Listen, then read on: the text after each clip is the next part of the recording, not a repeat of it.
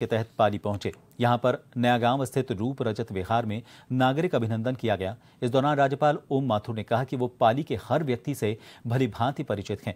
वे पाली के हर एक गली में साइकिल से घूम चुके हैं। कार्यक्रम के दौरान कैबिनेट मंत्री जोराराम कुमावत, अविनाश गहलोत, सांसद पीपी चौधरी, जिला प्रमुख रश्मि सिंह, विधायक पुष्पेंद्र सिंह, शोभा चौहान, पूर्व विधायक ज्ञानचंद पारक समेत बड़ी संख्या में जनप्रतिनिधि मौजूद रहे।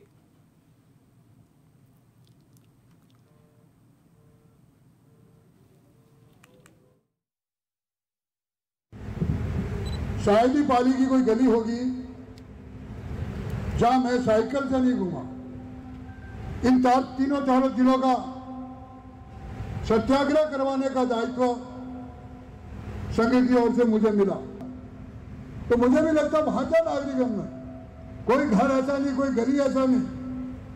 दो दो मंजिल चलना तीन तीन मंजिल चलना दिवाली बड़ी मस्ती से मनाना, होली बड़ी मस्ती से मनाना, लेकिन समय पहुंचेगी जालोर सिरोही का और पाली का कुछ हिस्सा और मंडी है ऊंजा और मंडी ले जाने में कई प्रकार के व्यवधान। हमने ऐतिहासिक आंदोलन किया। उठा चढ़ा देके और मैंने किस प्रकार से काम खड़ा किया?